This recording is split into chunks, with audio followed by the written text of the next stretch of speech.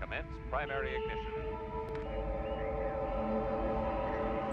Hey there, fans and collectors. Welcome to another episode of Binary Sunset Review. Today we're taking a look at the 30th anniversary collection, Hawkbat Battalion Clone Trooper. Commander, approaching target. Begin jamming signals. Yes, sir. Now, this trooper is famously from the introduction of the 2003 animated Clone Wars series. Only has about four seconds of on screen time, but we really did get an amazing figure and a really nice packaged figure that has a nice write up of even more than we got on screen for information. We as fans actually retreated to a lot of figures that were straight from that animated Clone Wars series. It really they were there was only about an hour of them they were 15 minute long episodes and there was a generation of toys that came out of these, and it was really an example of when Hasbro was just fully engaged in Star Wars again. But this, the 30th anniversary collection, so this came out in 2007, which was four years after this initially aired. It was still very, very close in our minds, and it was still in the between time before when the animated Clone Wars was everywhere. If you haven't seen this Genndy Tartakovsky animated Clone Wars series, check it out. It can be found in its entirety on YouTube. It is absolutely amazing. And for those of us who grew up with the prequels and in between the animated Clone Wars series that Dave Filoni made, it is the original, the the now now, be, the original before the now now. Here we have the Hawkbat Battalion Trooper in box. This came out in 2007, as I mentioned, and as we can see from the packaging, it's the 30th anniversary collection packaging and this was a pretty momentous year for Hasbro and for and for Star Wars. It was really ambitious. They had tons of exclusives, they had tons of figures, tons of vehicles, tons of everything.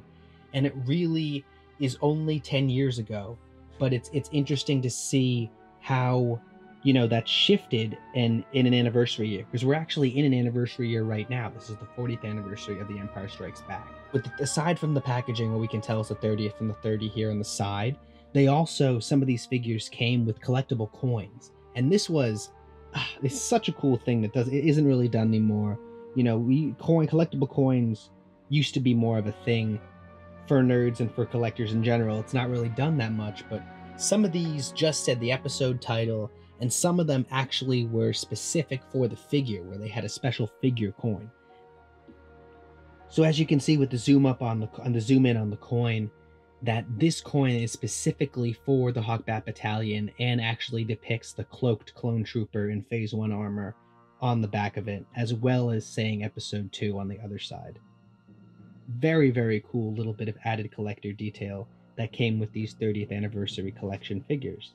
We have the Star Wars logo at the top, and as was standard for 30th anniversary figures, we had a stylized image of the figure at the very top, as well as the title underneath. So this is the clone trooper with the Hawkbat battalion underneath. This stylized image, it was really well done and very artistically done. It was always printed, so it was always kind of somewhat animated, like I said, stylized, but it was never cartoonishly stylized. It was always almost uber realistic stylizations. A lot of wear and tear on them, a lot of grime, and just really nice images that were unanimous were all with all the 30th anniversary collection figures. As is with the packaging, we have a long time ago in a galaxy far, far away is on the backs on the side here, and the warning labels. There is a lot to be missed with Hasbro Star Wars figures in the recent years, but I think one of the most tragic things that has happened in the packaging is the amount of flavor text and the amount of extras and information about the figures that we used to get on the back. And this is exemplified in no better collection than the 30th anniversary collection. We had a small flavor text write up. We had an image that was either from the film or from the animated series that the figure was from. We had an added package image of the of the figure. We had stats for them, so what home planet they come from, what weapon type they preferred, characteristics, and I particularly enjoyed this for the clones because because they were stamps of Jango Fett, they all read the same thing. So just but but for other figures they read unique things. So just really beautiful packaging on the back here, very attractive. still with the number 50 in the middle, so it was part of a collect it was part of a collection.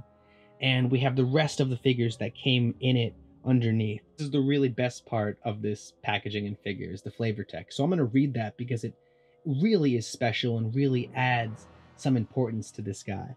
Fighting spreads from planet to planet as the war escalates. Clone troopers are sent wherever they are needed to oppose the separatist armies. Oblivious to harsh climates and imminent danger, each trooper prepares for another battle in this galactic conflict. First impressions of the Hawkbat Battalion clone trooper are just how really nice it is to have such an expanded list of figures for the Genndy Tartakovsky animated Clone Wars series. This was such an important part in between the in the in-betweens of Star Wars and such a really incredibly memorable moment for me as a kid watching this thing on television. The 30th anniversary collection line really offered a very very deep dive into the variety of different figures that were seen even just for one or two seconds on screen in this animated series. And the Hawkbat Battalion was one of those most emblematic. They were really there was only four of them, and they were seen on screen for maybe about maybe about three seconds. The history behind them is they are a battalion that was formed after the Battle of Geonosis, which was incredibly dec- it decimated the lines of the of the Grand Army of the Republic, and they were the remnants of battalions that were marched headlong into tank lines, led by irresponsible or unexperienced Jedi. It really also kind of explains the the divide that existed in the Clone Wars and how the clones really envisioned the start of the war, which was that they would follow every order, even even if it's the stupidest order of walking into a tank line. And they're just they're loyal to a T and the Hawkbat Battalion was symbolic of their loyalty because it was made up of, of pieces together battalions.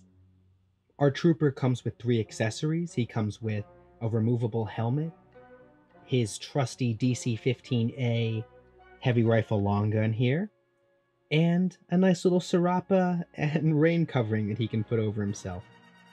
Pretty neat.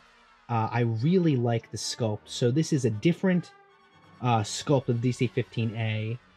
It's done in a in a fl- in a kind of like a a gunmetal flush paint, and it's just it stands out compared to the other rifles that we see that have just the matte black. Hawkbat articulation. Now, now the proportions have something to be desired. Some people can say for these clone troopers, but what has never been recreated with such success is the articulation for these figures. And there are some differences that we can tell. And there's stylized changes that really do take a little bit of realism out of the design of the figure, but they really do add for some amazing articulation. And when the joints are stiff enough, they don't really deteriorate that bad, that poorly. And so this this is a great example. The 30th um, the 30th anniversary model clone ball and joint ankles. They can go all the way down. He has knee joints as well. He has armor on top of the knees that stick with the knees so that they don't separate to make it more difficult. Um, what this actually also does is it's much easier to get him to be position him on a knee. It adds for the balance. It's just a really cool thing that 30th anniversary troopers were able to do with ease. Look at that ballerina pose. Now, the most important thing about articulation here are the arms. And the arms are very well articulated where he can he can raise the roof fully he can he can touch his shoulder he can touch his head shoulders knees and toes. And that is done by when they created the joint they had the joint in the armor plating here. So the, it's a little it's visible but what it does is it really allow, allows for the full range of motion for the shoulder to come up and out. Whereas other previous designs, including the vintage collection figures, which are superior looks but not in articulation, since the plate is closed off here, his articulation tends to stop around here. And as you can see, when you have the joint built into the armor plate, he can go all the way up. Is this realistic? No. Does this provide for incredibly amazing articulation and posing? Yes. The painting and detail in this figure is pretty notable, now, the one second of screen time we do see him, he is on a hill in the rain with his buddies, and they're all wearing this really this this poncho, this soft goods poncho that he's seen with. And it's just a really cool image, and the painting in detail of him being in the mud with this poncho is done very nicely and it's you can see it on his boots he's got this kind of gray mud but it's also done on the soft goods of the cape. And this clone trooper differed a little bit from the vintage collection clones we see now in terms of proportions a little bit. They tend to be a little stockier. Um, their chests are a little bit more broad and they have a little bit more thicker legs. Saying that out loud and comparing them i actually I, I like the kind of meteor clones that we had.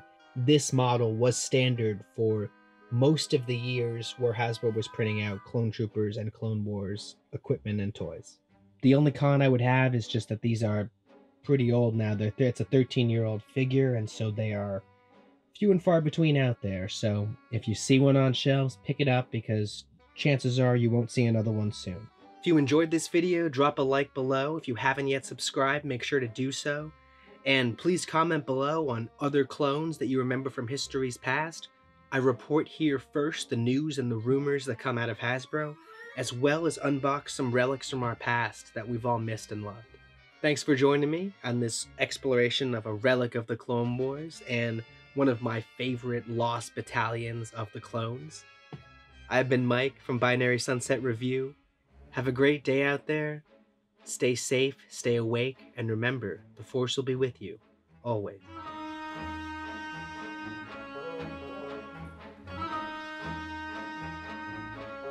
Just a simple man trying to make my way in the universe.